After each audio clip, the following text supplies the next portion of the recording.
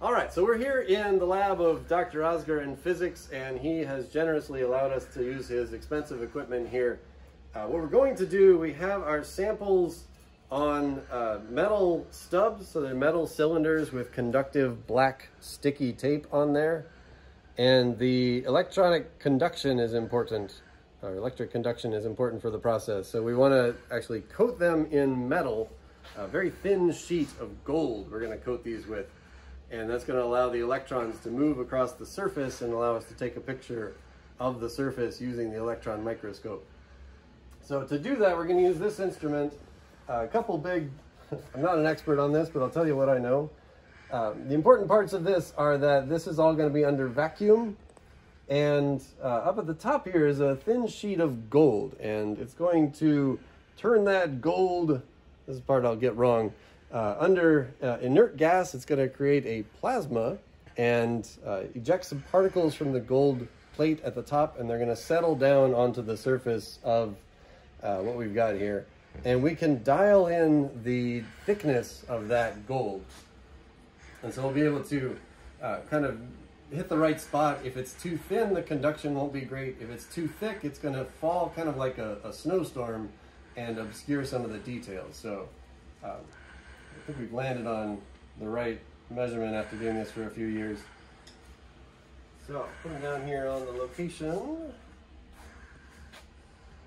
And I've got them labeled on the side. The Sharpie label is actually going to still be readable after the uh, gold coating. Students always get a little gleam in their eye when they hear that we're coating things in gold. It's not a very expensive amount of gold. Pennies. Pennies worth of gold. So how many nanometers are gonna go with Uh, Doctor? I was avoiding saying that, but I thought it was maybe 10 or 8. sure, yeah. Sure, why I think not? it's set to twenty, but we'll see. All right, so I'm going to do this. Dr. Osger is behind the camera, so he can tell me whether I'm doing something wrong. Uh, this is some thick glass that's going to maintain the seal. I've never done this one before. All right, you want to tell me what to do? Mhm. Bottom And then on, the red. Yep. hmm top one on. Oh, and I think also this Oh, one yes. too. Um, I might have isolated it. Let me set that up. I've become a pretty good video editor. I can, I can iPhoto or iMovie and. Sure. Can So now let me actually take the front part of the instrument. Do you wanna record or? uh, go for this all day. So as you can see, the pressure started dropping. So it's pump. So what this is doing, this is a, uh pump. It's a mechanical pump, and it's taking, sucking all the air from this chamber out. And the pressure gauge is telling us that the pressure is dropping inside the chamber. That's a logarithmic scale. 1.2, um, 0.1, 0.01 and the pressure is measured in millibars.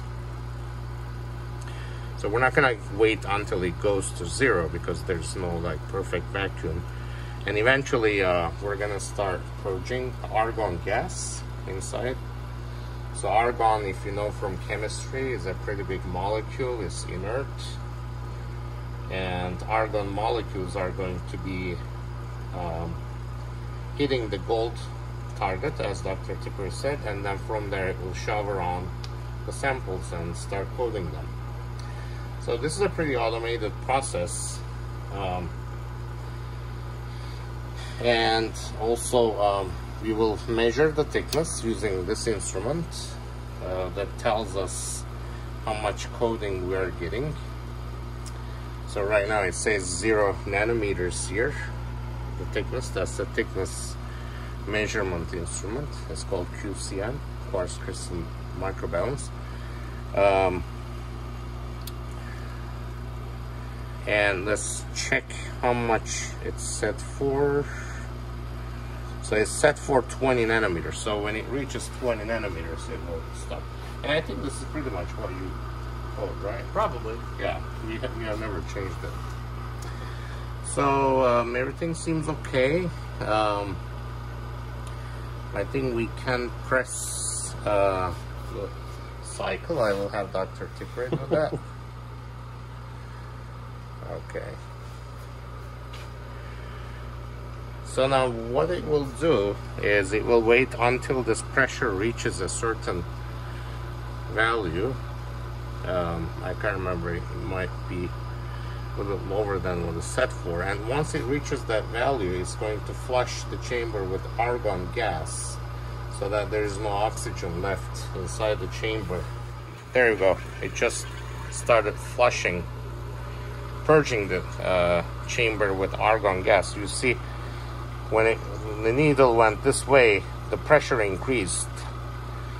Now it's pumping down again, so presume that there's not much argon and it's purging it again. So now what will happen is the system is gonna wait until there is a certain pressure of argon inside and then it will start applying a high voltage around 500 volts between the uh, cathode and the gold plate and the plasma is gonna start. Look, We have a lot we're gonna edit out here. Waiting, waiting. There we go. Look at this plasma, it's beautiful. So over here the thickness is counting up. So it's gonna reach the set thickness and then stop. Right.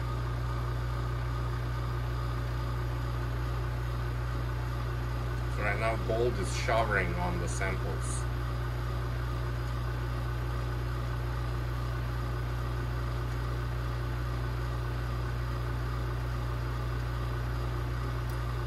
All right, so we reached 20, 20 nanometers, and everything's shut down on the plasma part. Okay. So all that's left is to turn everything off. All right, so we've turned everything off. We can access this now. The uh, pressure has come back up to atmospheric. So we can open this, carefully take off our glass covering, and look at that, gold.